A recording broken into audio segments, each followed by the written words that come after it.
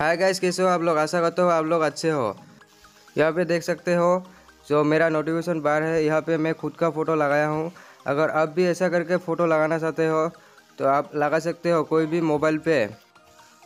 यहाँ पे देख सकते हो, देखने को भी अच्छा लगेगा यहाँ पे आप जो खुद का फ़ोटो लगाएगा यहाँ पे। तो पहले मेरा ऐसा था। बैकग्राउंड यहाँ पे देख सकते हो, यहाँ पे बैकग्राउंड ब्लर दिख रहा है। तो यहाँ पे आप खुद का फ़ोटो लगा सकते हो यहाँ पे। आप यहाँ पे कोई भी फ़ोटो लगा सकते हो, यहाँ पे नोटिफिकेशन बार पे। तो आइए देखते हैं वीडियो को लास्ट तक कैसे आप नोटिफिकेशन बार पे कैसे आप फ़ोटो लगा सकते हैं। यहाँ पे मैं ऑल सेटिंग दिखाऊँगा कैसे इस नोटिफिकेशन बार पे आप खुद का एक छोटा सा ऐप डाउनलोड करना है प्ले स्टोर पर जाना है। यहाँ पे प्ले स्टोर पर जाने के बाद यहाँ पे सर्च करना है। एम आई कंट्रोलर करके एक ऐप मिल जाएगा यहाँ पे प्ले स्टोर पर यहाँ पे सर्च करना है एम आई कंट्रोलर यहाँ पे देख सकते हो। यहाँ पे पहले वाले ऑप्शन पे ये एम आई कंट्रोलर ये मैं पहले ही डाउनलोड करके रखा हूँ।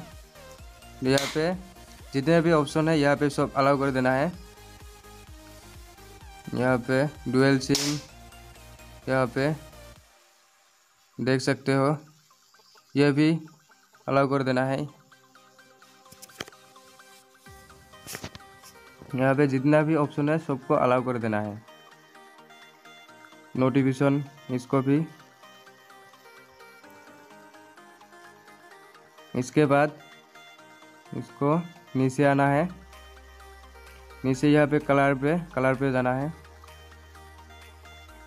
कलर्स यहाँ पर यहाँ पर देख सकते हो ऊपर में बैकग्राउंड करके यहाँ पे क्लिक करना है बैकग्राउंड पर ऊपर में ये वाला ऑप्शन यहाँ पे इमेज ब्लर ब्लर को ज़ीरो पे रखना है।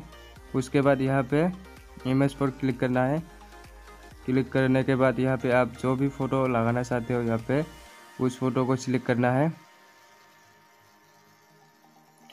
यहाँ पे मैं इस फ़ोटो को सिलेक्ट करता हूँ।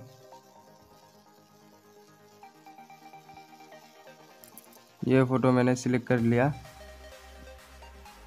ये देख सकते हो, यहाँ पे ओके कर देना है।